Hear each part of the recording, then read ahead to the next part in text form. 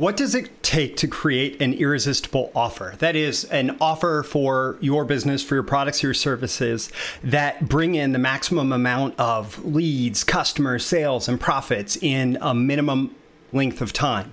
Well, there's actually seven dimensions to it. And I'm going to share those dimensions with you today using, leveraging some lessons that I've learned from Eugene Schwartz, Jay Abraham, Dan Kennedy, and I'll probably throw a few others in while we go. Uh, now, this is a big topic, and I want to cover it fast for you, so let's dive in. Number one, a an irresistible offer is a clear solution to your prospect's problem. Now, anytime we're talking about problems, we need to look at Eugene Schwartz's market awareness model, and that is any market, as well as any prospect within a market, is going to go through a process, going from unaware of whatever it is to aware of a problem that they want to have solved, to looking for what a solution is going to look like for that problem, to aware of specific solutions, specific products and services, to looking for a very specific deal. Uh, for, in order to get one of those solutions, their preferred solution. And in order for any good product or service to exist in the marketplace, it really it really really uh, it's critical that it actually solves a, a clear problem and that you are able to point out okay if you have this problem i have a superior solution to that problem and here's why. So you need a clear solution to the prospect's problem. And when I say problem, I'll, I'll, note here sometimes the problem is that they don't feel like they have enough opportunity in their life. So there are opportunities as well as problems. It's either a, a an actual problem that they're facing or it's an unfulfilled need, want, or desire. So you have to have a clear presentation of that market awareness spectrum. Okay, you have that problem. Here's the solutions. Here's what you need to consider in terms of a solution. Uh, here, here is our specific solution and how it meets those criteria. And here's the deal that we have for you. You need that clear presentation. It should connect their problem to your particular solution, and it should present the offer in a clear way. So number one, clear solution to the prospect's problem. Number two, your offer needs to offer it needs to give the prospect, give the buyer a great value versus the cost, the amount of money that they are investing in it. And here we turn to uh, Jay Abraham and his concept of dimensionalized value because Jay, when he presents an offer, is incredible about, for example, taking something like this. Like if if i were trying to sell you seven dimensions of an irresistible offer i could just say like oh here's here's a here's a, a mind map that i put together and it's a, a one page worksheet and it's really simple and that sounds really cheap and perhaps something that i should give away free like i'm doing in this video. But if i really wanted to make it feel valuable i could talk about the uh, hundreds of thousands of dollars invested in paid traffic testing this, the uh, the 15 years of cumulative experience that I have put into developing not just the one, two, three dimensions of a great offer, but the seven dimensions of an irresistible offer. I could talk about all of the uh, billions of dollars of market research that have cumula- uh, that have that have come together and accumulated in my awareness in my marketing education in order to deliver this. And uh, Jay is incredible at that, at looking at the different ways that value is added into something to further justify, to, to increase the perception of value, um, backed up by real value, of course, but the perception of value uh, to make it overwhelmingly in the prospect's favor. So if you could save 15 years of marketing education, if you could tap into billions of dollars of sales generated, if you could if you could tap into hundreds of thousands, millions of dollars of paid traffic, and how that adds up to creating an irresistible offer doesn't that sound like it's worth a lot more than that single piece of paper with a list of seven items on it? So you want to compare the great value versus versus their cost, and the value can be uh, versus other options, versus trying to figure it out themselves, versus doing nothing, not actually solving the problem. You need to do as much as you can to present the value in a way where the perception of value is is incredibly high and it, it should be especially high like if, if you imagine the scales of justice and um, weighing on one side is the perceived value and on the other side is the cost. And if this is the cost it should be much lighter than the perceived value that they're getting out of uh, out of following through on whatever deal you have for them today So we have number one, you present a clear solution to the prospect's problem. Number two, you offer a great value versus the cost that they're going to invest in it. Number three, you should offer an attractive discount or premium. And here we get into specifically making an offer today in order to generate response today. Uh, so what we're doing by offering an attractive discount or a premium, a bonus, whatever you want to call that, um, is we are we are giving them a reason. We're establishing a reason for them to respond now. And um, not only that, we're actually improving the value to cost ratio. So if if we've presented, okay, there's this, you know, you're getting you're getting this this huge. Let's see, if it's heavy, you're getting the huge value over here, right? Uh, and your cost is not very much. Well, if your cost is even less, then the value to cost ratio is bigger.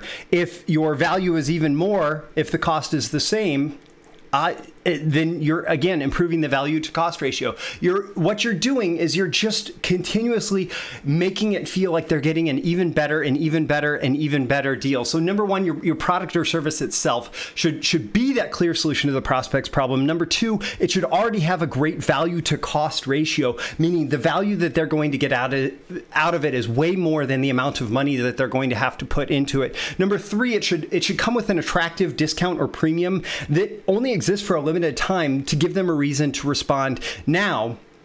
Number four, we need to give a strong reason why for the deal. Now, Dan Kennedy is great about this. His teaching is great about this.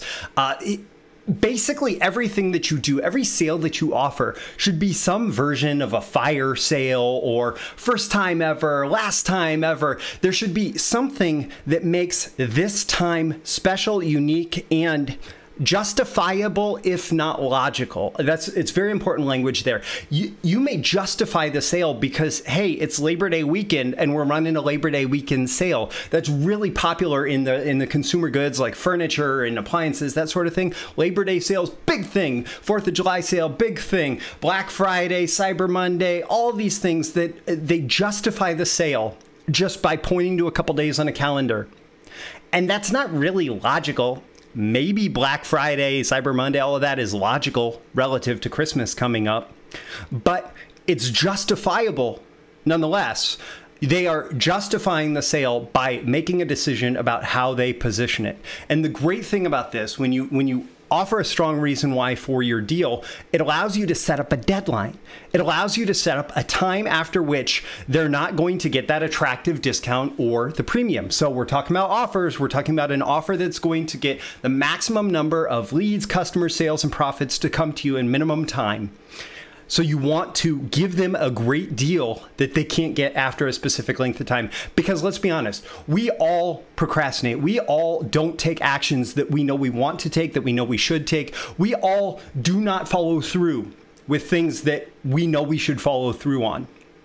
And that applies just as much to your prospects deciding whether or not they're going to buy your product or service as it applies to anything else in life. Um, probably more so because that that act of actually pulling out their wallet now mine happens to be sitting next to me not in my back pocket but that act of pulling out their wallet pulling out their credit card giving you that money that is an act that inherently has resistance it has inertia there's there's there's this uh, uncertainty in it that is this going to be a good investment and so you need to do things to actually take. Uh, actually, uh, uh, John Carlton says, think of your prospect as like a somnambulant sloth spread out on their couch at home, and in order to respond to their to your offer, they have to like drag themselves up. I'm thinking uh, Jabba the Hutt from Star Wars, right? He has to like get up and he has to go across the room and he has to slide across the room and he has to go over there to the other side of the room to the drawer. And granted, this is a direct mail metaphor, but he has to like pull the envelope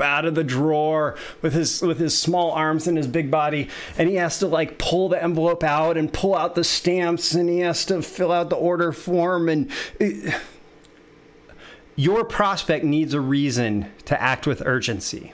You need to give them that reason to act with urgency, and that comes beginning with your justification for the deal. So up next, directly like the the the the the next dimension, number five, is urgency. So we have a clear solution to the prospect's problem. We have a great value versus cost ratio. We have an attractive discount or premium. We have a strong reason why for offering this deal, and we have urgency. That is, there's going to be a deadline. There's going to be a limited quantity. There's going to be perhaps market factors, some date by which they have to respond before the market changes all of the above. Maybe there's personal factors. You have to come up with a very clear reason for urgency. Uh, this is half the reason that I love things like event campaigns or webinars, that sort of thing, because there's a built in urgency element. There's a built in deadline because a date's going to happen and you either signed up or you didn't. So, urgency. The next dimension is a clear call to action, CTA.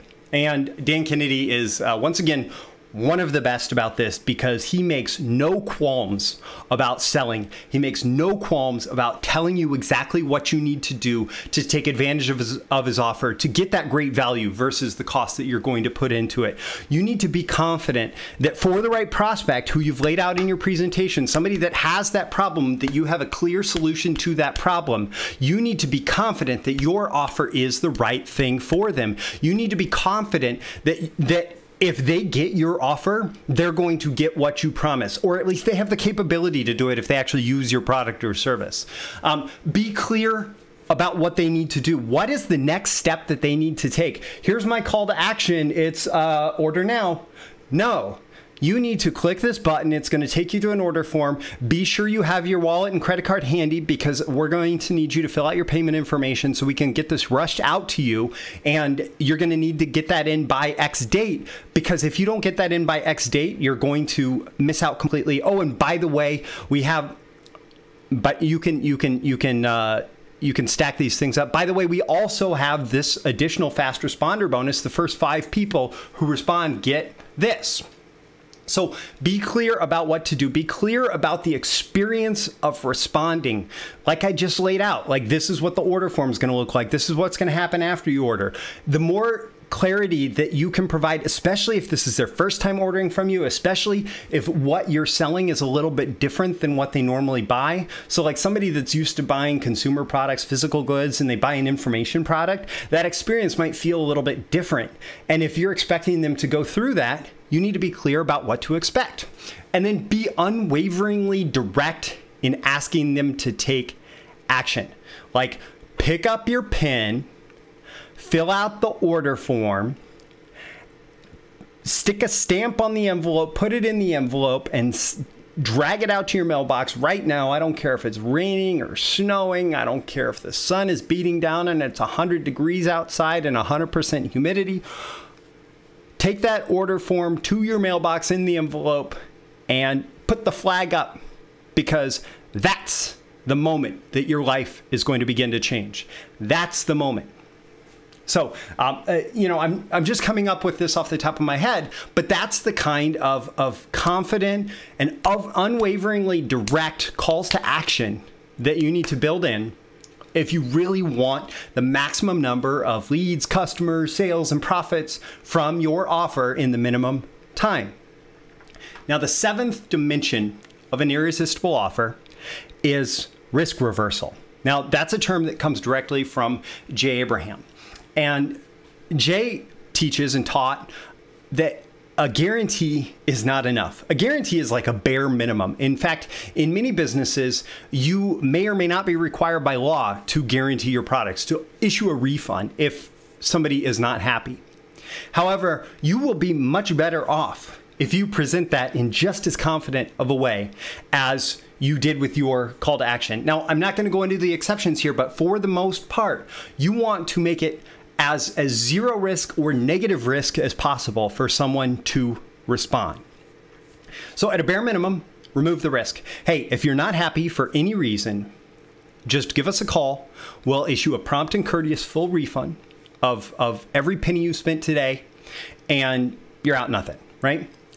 The the flip side, even better, is to actually reverse the risk. And so offer them something of value that they get to keep if they ask for a refund, something where maybe perhaps they decide that the main product isn't right for them, but this extra thing of value is still right for them. And so it's great that they get to keep it. uh, whether whether or not they decide to keep the main product and get a full refund. Or you'll see in many cases, like come to my seminar, if you are not happy by the end of the first day, what I'll do is I will cut you a check at the end of the first day. Let us know. I'll cut you a check and it's going it's going to be for the full price that you invested in coming, plus an extra thousand dollars to cover flights, hotels, all of that, so that you are absolutely out nothing, and you actually get the the benefit of the next couple days that you would have spent at the seminar as a great vacation instead. So risk reversal. Reverse the risk of doing the transaction. The person who is willing to take on the most risk of the transaction is going to get the other person to do what they're asking them to do or the other people at the maximum level. And so if you have a wimpy guarantee, if you are unwilling to guarantee uh, that if somebody spends money with you, they're actually going to get the value that you promised, you're going to have a hard time selling. Whereas on the other end, if you are uh, so confident in your product or service being able to solve the solution to their problem, assuming that they're a qualified prospect and you should do things explicitly to state what makes a qualified prospect here, if you are that confident, that you are going to solve their problem. And that if they don't get a better than expected solution to their problem, they're going to get something that is of even more value in return. Like that makes it so easy to sell. So I'm going to go back through the list here really quickly. Um, the seven dimensions of an irresistible offer. Uh, featuring wisdom from Eugene Schwartz, Jay Abraham, Dan Kennedy, uh, based on my experience, based on my studying people who have billions of dollars of sales, based on um, my working with clients generating well into the millions of dollars of sales. Number one, have a clear solution to your prospect's problem. Your product or service should be a clear solution and presented as a clear solution to their problem.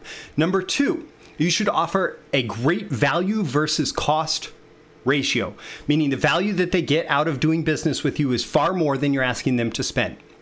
Number three, you should offer an attractive discount or premium, something that uh, allows you to create a deadline, create urgency, something that you can take away so that they have a, a, a time before which they have to respond. Number four, a strong reason why for offering a, a deal today. Give justification, if not like truly rational logic, for why you are offering them a better deal to respond now. Number five, urgency. Be explicit about when they need to respond by, what kind of limitations there are on the deal. Number six, a clear call to action with confidence, with uh, unwavering directness, telling them what they need to do, what their experience is going to be like, why they need to do it, all of that. Be direct about the action that they need to take. And number seven, the last, you need to reverse the risk of the transaction. Not just a guarantee, although a guarantee is a great starting point, not just a guarantee. Um, remove the risk of the transaction, reverse the risk of the transaction, make it clear that whether or not they're happy with your product, they their life will have been better because they make the decision to move forward with your offer today. With that, um, I hope that you've liked this content, the seven dimensions of an irresistible offer. This has been a video issue of Breakthrough Marketing Secrets. If you like the video, make sure you click like. You can uh, comment. You can weigh in. You can ask questions about the content of this video or questions that you'd like to see covered in an upcoming video. You can share the video with friends, with coworkers, with colleagues, with people who you think would get value out of this content. And be sure to subscribe to get more content like this. I do these videos at least one a week covering marketing, copywriting, selling, business building, uh, personal development, and more for entrepreneurs, uh, marketer, marketers, and other high achievers. And really, I'm on a mission to help as many uh, value first, preeminent, uh, value oriented marketer entrepreneurs live happier, healthier, more prosperous, and impactful lives through both growing themselves and growing their business. And so I'd love to have you join me in this movement, both through subscribing to me here, as well as you can go to breakthroughmarketingsecrets.com where I publish a daily essay or video uh, covering all of these topics. Go to breakthroughmarketingsecrets.com. You can sign up there. You'll get all the all the essays or articles and videos and I look forward to seeing you again in your next video issue. I'm Roy Furr with Breakthrough Marketing Secrets. I'll see you soon. Bye.